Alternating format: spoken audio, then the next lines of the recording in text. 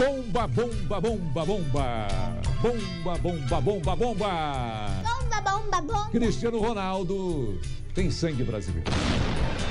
Desvendamos o passado do melhor do mundo. Eita, mano. O Balanço Geral descobriu que o craque português tem família aqui no Brasil, aqui em Campinas.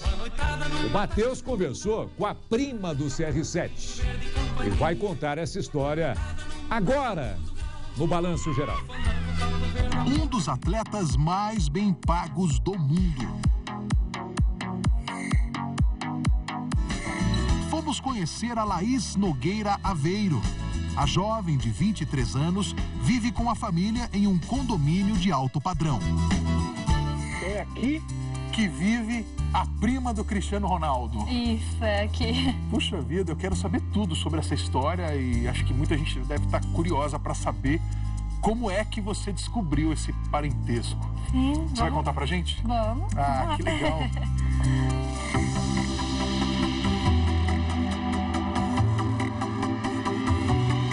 O espaço foi uma fazenda da família. Aqui, na verdade, quando meu bisavô veio de Portugal, ele comprou a fazenda e foi dividindo, né, para os irmãos, filhos, né. Laís trabalha administrando os negócios da família. Eu trabalho com máquinas, né, Máquina. empilhadeira, pá carregadeira, caminhão. Mas agora eu quero saber o seguinte: você segue o Cristiano Ronaldo nas redes sociais? É lógico. O craque esteve em Campinas, cidade sede da seleção portuguesa na Copa de 2014.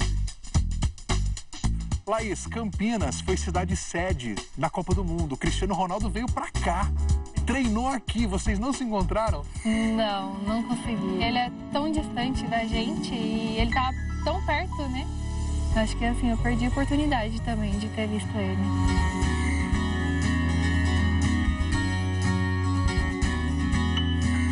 Mas afinal, como foi que a Laís descobriu o parentesco com o Cristiano Ronaldo? O sobrenome Aveiro possui ligação com o melhor jogador de futebol do planeta. O craque português de 33 anos, que assina Cristiano Ronaldo dos Santos Aveiro, despertou a curiosidade da família dela no Brasil, quando há pouco mais de 10 anos passou a ganhar notoriedade no esporte. Meu tio avô foi para Portugal e lá ele conseguiu documentação mais detalhada sobre a família. Os documentos e montar a árvore genealógica foi muito trabalhoso. Dois irmãos, Francisco e José Aveiro, seguiram vidas distintas. Francisco veio parar em Campinas em 1911.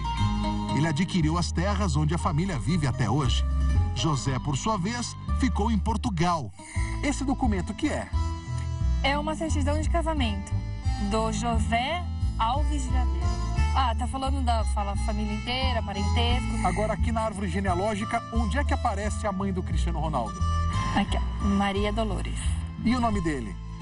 Cristiano Ronaldo. Ah, tá aqui. Quero saber o teu nome. Onde é que tá aqui? Vem a partir desse daqui, Aham. que é irmão do meu, né? Do, e do, vai. do tataravô? Isso. Apesar de primos, o parentesco deles está na quinta geração da família. Jornalistas portugueses estiveram no Brasil e conversaram com a Laís. E a sensação de ver a tua foto da tua família no jornal português? Ah, é emocionante, né? Porque apesar assim da distância, ter o vínculo né, familiar com ele e toda a Europa ficar sabendo da, da gente, né, da existência aqui no Brasil. Laís tem planos de conhecer o primo jogador. Mas na hora que chega a confirmação mesmo que é, aí, perde o chão, né? Perdeu. Nossa, e agora? Não, agora eu quero ver ele, agora eu quero ouvir ele, eu quero. Meu, meu sonho é ver ele. Tá emocionada? Só de falar do Cristiano Ronaldo? Uh. Não acredito. É, meu sonho é ver ele.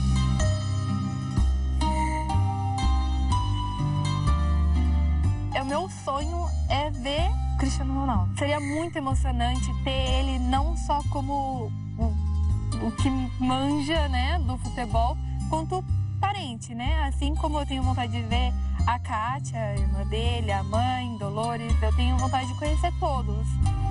seria muito emocionante mesmo. É meu sonho. Fazer um encontro com a um família. encontro com a família.